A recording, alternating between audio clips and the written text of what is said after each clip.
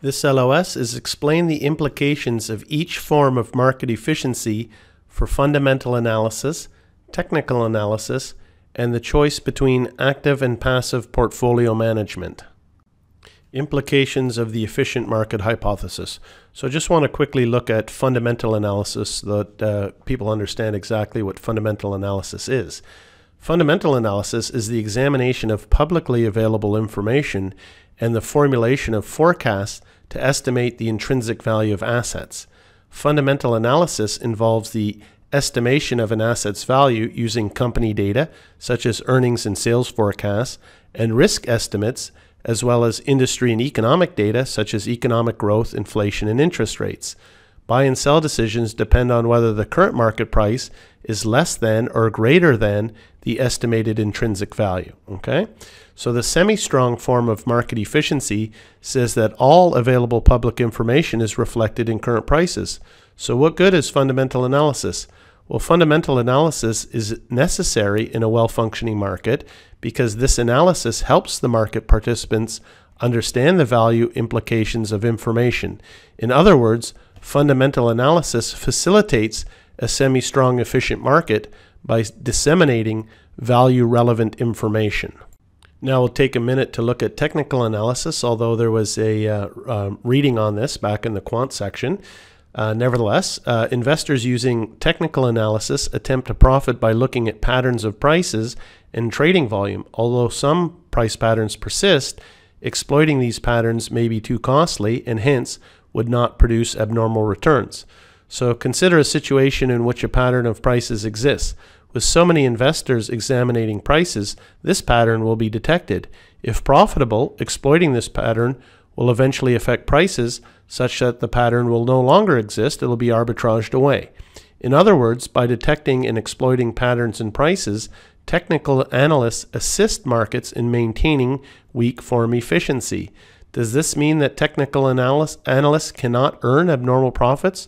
Not necessarily, because there may be a possibility of earning abnormal profits from a pricing inefficiency. But it would be possible but would it be possible to earn abnormal returns on a consistent basis from exploiting such a pattern? No, because the actions of the market participants will arbitra arbitrage this opportunity quickly and the efficiency will no longer exist. Now we'll look at portfolio management. Uh, if markets are weak form efficient, technical analysis is useless. So we've seen uh, a little bit about that on the previous slide. If markets are semi-strong form efficient, both fundamental and technical analysis are useless. Again, that's why I want to take a little bit of time to go through the fundamental and technical analysis on the previous slides. So evidence supports both weak form and semi-strong form efficiency. Markets are not strong form efficient, and that's impossible because it includes private information. Continuing with the implications of EMH on uh, portfolio management, if security markets are weak form and semi-strong form efficient, the implication is that active trading, whether attempting to exploit price patterns or public information, is not likely to generate abnormal returns. In other words, portfolio managers cannot beat the market on a consistent basis, so therefore passive portfolio management should outperform active portfolio management.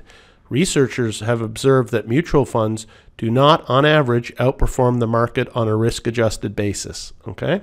So mutual funds perform on average similar to the market before considering fees and expenses and perform worse than the market on average once the fees and expenses are considered.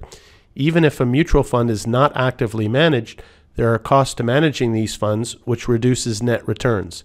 So, what good are portfolio managers? Well, I put this in bold, and this is a good little um, summary to this section is that the role of a portfolio manager is not necessarily to beat the market, but rather to establish and manage a portfolio consistent with the portfolio's objectives with appropriate diversification and asset allocation while taking into consideration the risk preferences and tax situation of the investor.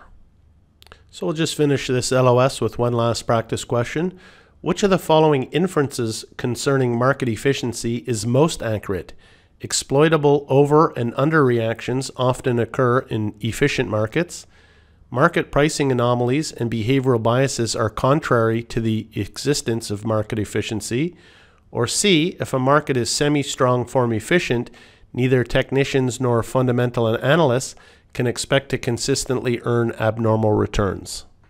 Okay, this uh, question is including a little bit of information about market anomalies and behavioral biases, which we're going to see in uh, the next couple LOSs. Nevertheless, I put it in here uh, because if we're looking at uh, uh, the inference that's concerning market efficiency is most accurate, it was C, and that's with regards to the LOS that we've just been talking about.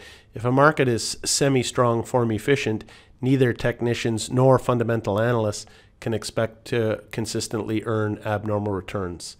Uh, um, if a security markets are semi-strong form efficient, active trading to exploit price patterns or public information is not likely to generate abnormal returns. Thus, both the technical and fundamental analysis become futile exercises.